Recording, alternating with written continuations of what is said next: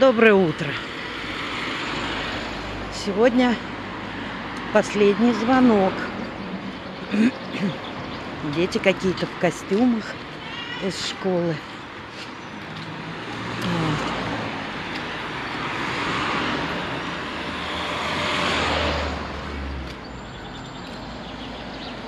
А мы с моей командой едем в Евпаторию. Нам так надоело сидеть в Черноморском. Папа прислал нам денежку. И мы решили поехать в Черноморск.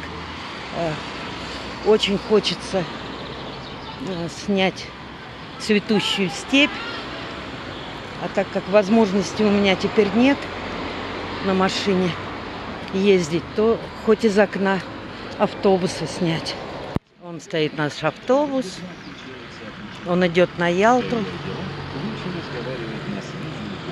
Ну, нам недалеко. А кто эта дама в шляпе? А это я. Ну вот мы поехали. Улица Димитрова, такой болгарский микрорайон. Бабушки торгуют молоком, яйцами. Вот она и степь бескрайняя. Главное, небо чистое-чистое, а тут такое облако над межводным висит. Вон маки.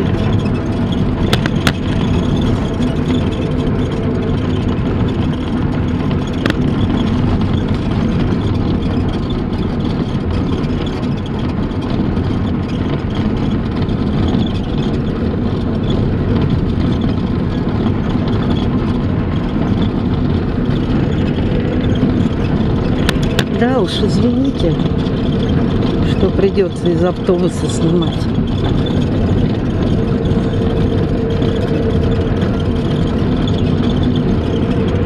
Это раньше мы с Алинкой ездили.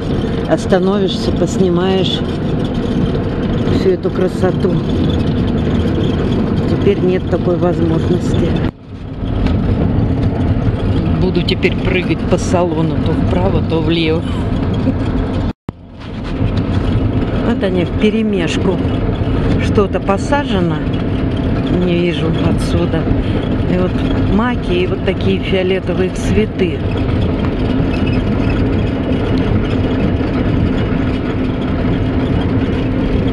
Еще должны быть поля со льном.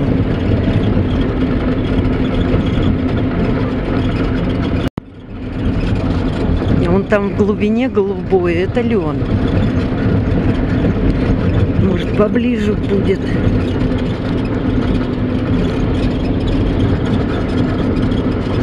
Автобус весь дрыгается, скрипит. Кошмар какой-то.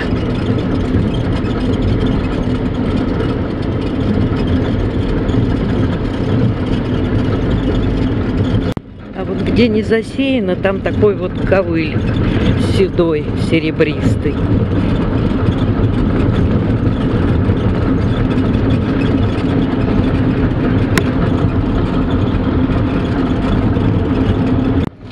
И вот такая степь, мои дорогие, бывает только вот ну, с середины мая, ну, в начале июня еще. А потом она вся выгорит, сгорит трава. И все, и круглый год она какая. Да никакая.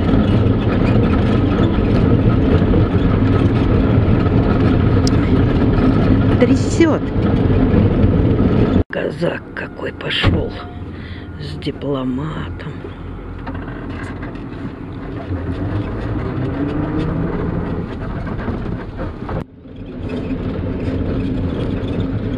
Там за кустами, за деревьями поле подсолнухов, но они еще маленькие.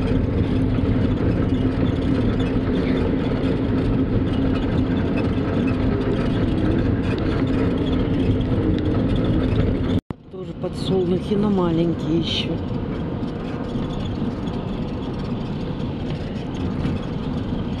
И горох сеют, и рожь. Вот это Красная Поляна. Поселок такой.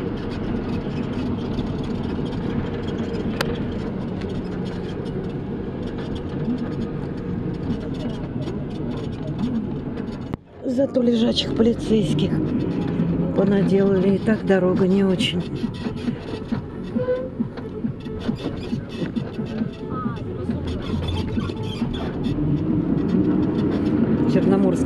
Понаделали.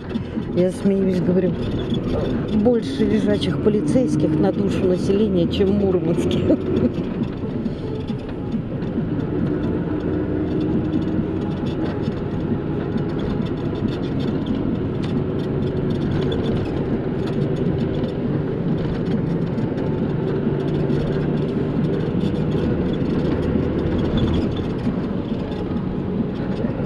Пшеница, что ли? Пшеница вроде. Такой цвет интересный.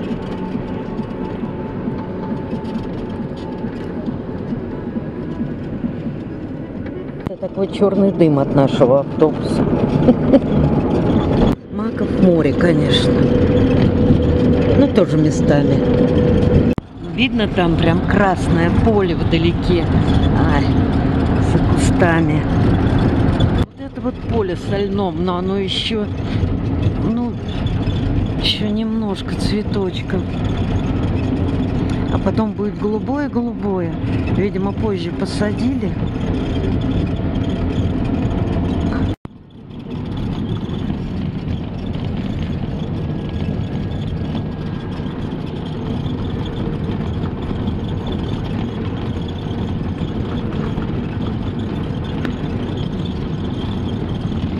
Ну, прям издалека прям все красное. А поближе подъезжаешь. Ой.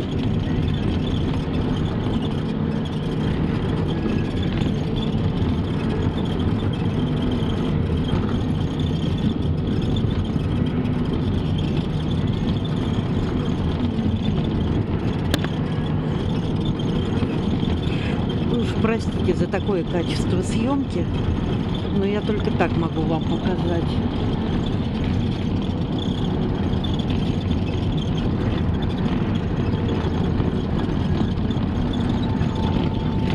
Какая зелень прям. Их. Цвет такой. А, это Дон Узлав. Сейчас проедем. Ой, господи, как все прыгает.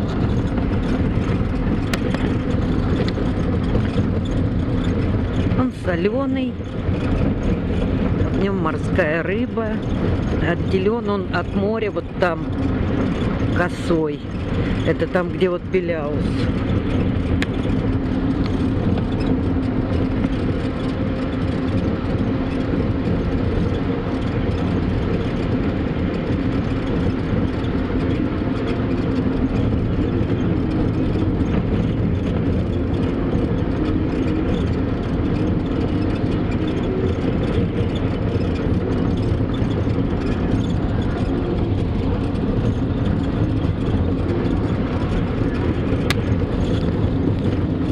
Алинкой все время тут перекур устраивали.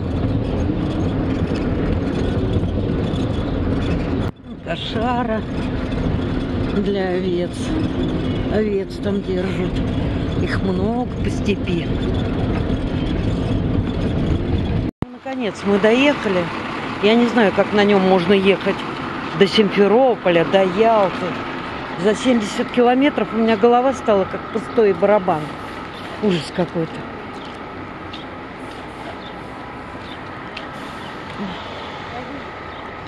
Теперь надо еще отойти от этого. Удачно я сняла деньги в банкомате Генбанка. Просто попала. Банкомат денег мне не выдал.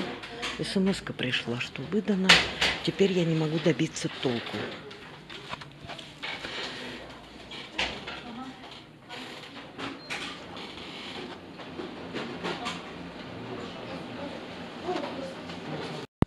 занимаются своими делами. Всем наплевать. Я уже и орала, и уже и в Альфа-банк звонила. Толк никакого.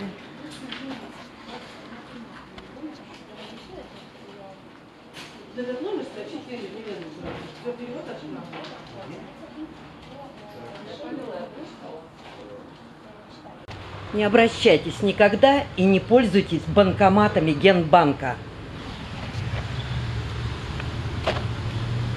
Это, это просто, блин, этих денег никогда не увидеть больше. Ну что вот это, а? Ну что вот, ну какая теперь может быть экскурсия по городу, а? Ну что вот это вот? И не добиться ничего. Звоню в Альфа-банк, они, значит, меня посылают в Генбанк. Генбанк меня посылает в Альфа-банк. Не, ну да, вот здорово. Пять тысяч сняли, куда-то ушли, а я должна ходить писать заявление, отправлять, сканировать. Ну, идиотизм, блин. И не первый раз вот с этим генбанком проблемы. Мы тогда не могли кредит оплатить. Они нас мурыжили.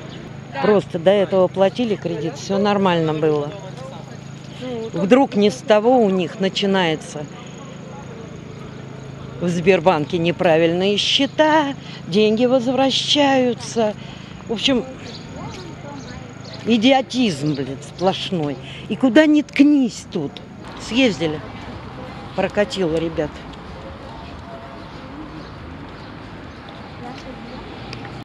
Почитаешь в комментариях, блин, негатива у меня много по поводу Крыма.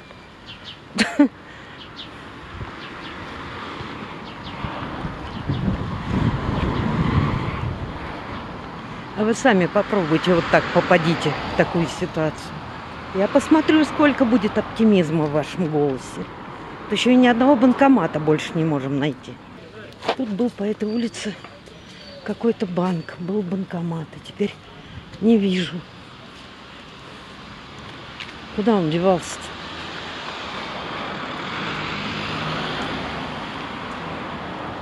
Ну просто вообще. Ну.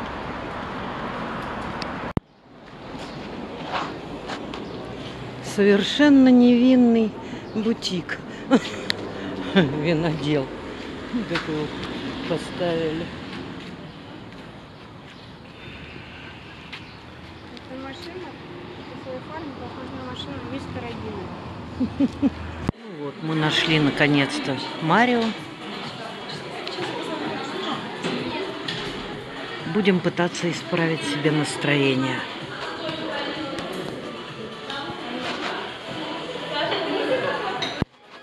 Вот все мне тут нравится. Большое, двухэтажное.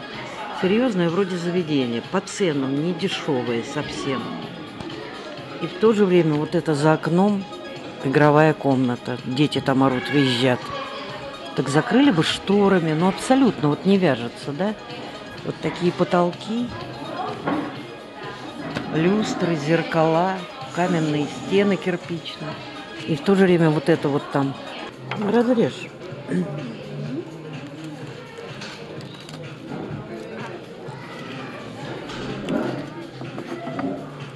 Ну, Маргарита абсолютно мне не понравилась.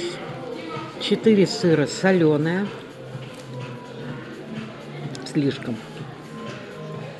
А пепперони самое вкусное.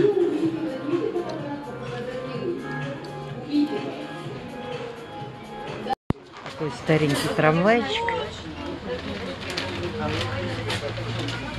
Егорка у нас первый раз в жизни едет на трамвае. А ты где ездил? Я не помню. Ну, помню, что на трамвае ездил. Я помню в стране, там их было много, они там ездили, ездили. Ясно. Старенький, ободранный такой весь. Едет, качается.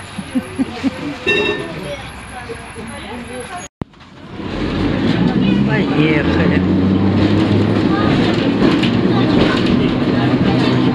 Него интересный маршрут, он ходит от, ну, от переулка, не, пере, не переулка, а от перекрестка до железнодорожного вокзала и назад.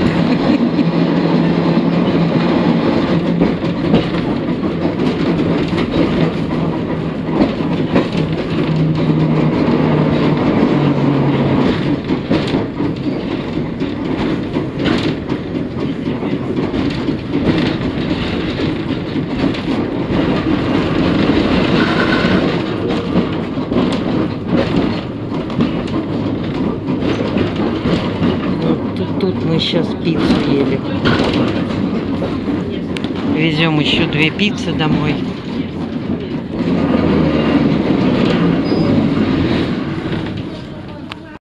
Даже одна остановка есть.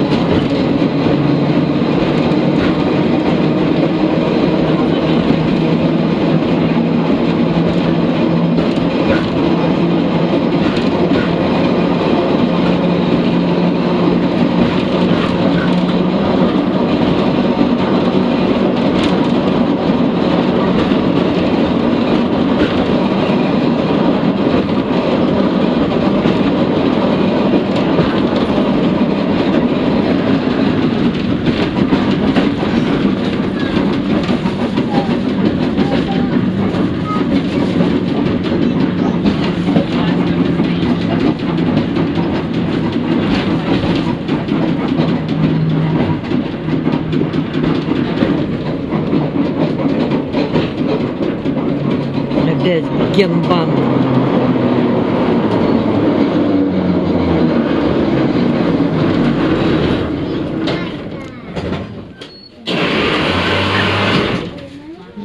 Еще остановка. Я думала, он вообще так идет.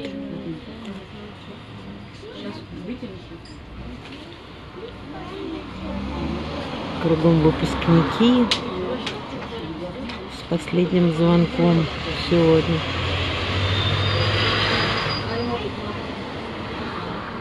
Это кафе, где мы были, их прям водят целыми классами.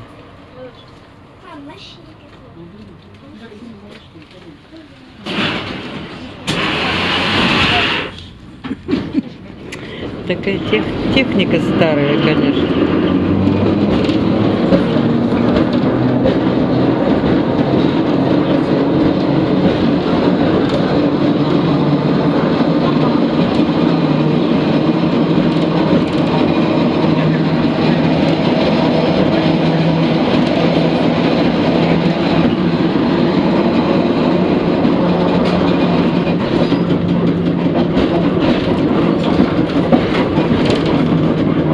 Ой, сама-то, честно говоря, не помню, я на трамвае, на трамвае ездила. Ой, да больше 30 лет, наверное. Когда еще в Москве жила.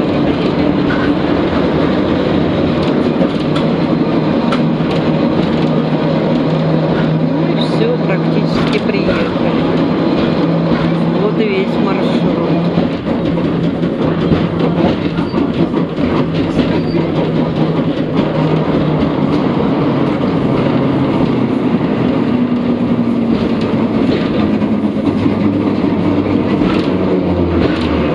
Все, Егор.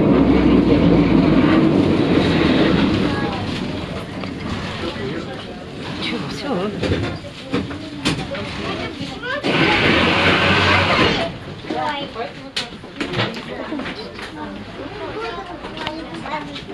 Там проходит.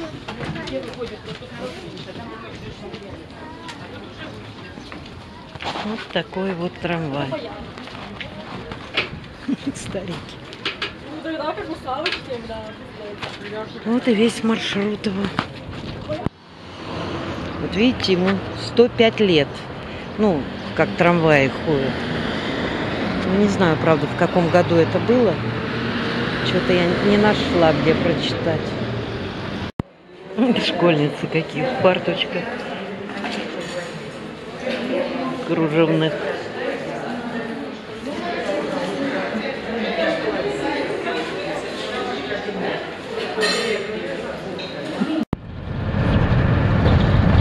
Так мы возвращаемся домой.